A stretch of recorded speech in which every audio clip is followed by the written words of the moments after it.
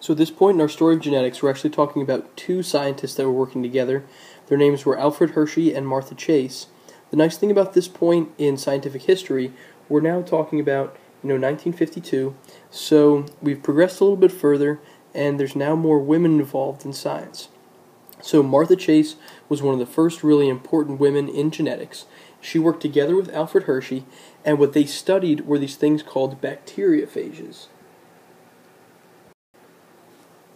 So we have Alfred Hershey on the right, and then, of course, Martha Chase on the left. And as I said, they're studying these things called a bacteriophage, which, if you translate it, it literally means bacteria eater. It's actually a type of a virus. So in this image, it shows you the bacteriophages. As I said, it's a type of virus. So the virus is shown here. It's sort of this spider-looking thing, and it's attaching itself to the larger bacteria, which is kind of the globular thing in the front. This is another bacteria in the distance. And you can see on this bacteria there's all these little viruses sticking to it all the way around. These are all these guys. So the bacteriophage is a type of virus that attacks bacteria. It injects its DNA, which is held up, up top in this little protein capsule, into the bacteria, and it takes that bacteria over and actually causes that bacteria to create more viruses. So this is an actual scanning electron image of the bacteriophage working. So here's the large bacteria again, far bigger than the virus. These are the viruses along the outside, each one individually. They're basically like the little insect looking things that we had before. And what those viruses are doing, they're actually inserting their DNA into this bacteria. And you can see on the inside now, this bacteria is beginning to create more viruses. And eventually the viruses will fill up the inside of that bacteria and it'll rupture and it'll just keep spreading from one bacteria to the next. This is basically what happens to you as well if you get a viral infection. It starts killing your cells one by one very slowly. So now we're going to get to why this is so important.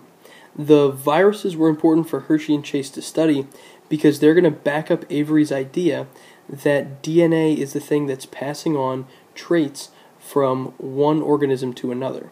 So in this case, it was easy to study the virus because they're really just made up of two parts. There's a protein coat around the outside. That's what kind of gives it that spider-like appearance.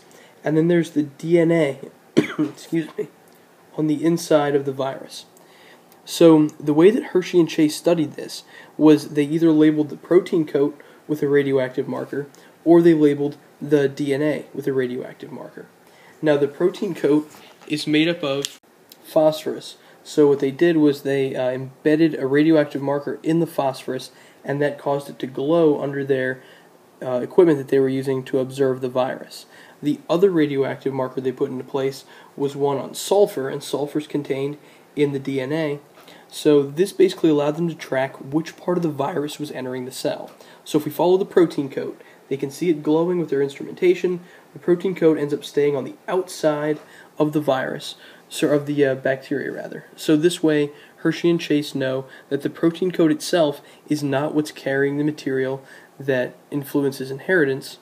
On the other hand, when they were following the DNA, they saw that actually enters the inside of the cell. So now they know because the radioactivity is inside of the bacteria that DNA is the thing that transfers the inheritance from one individual to another.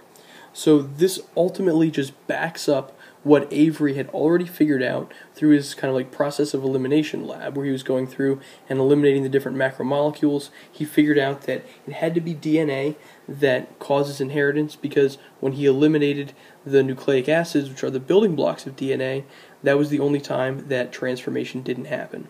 So Hershey and Chase basically just back up his results with their findings.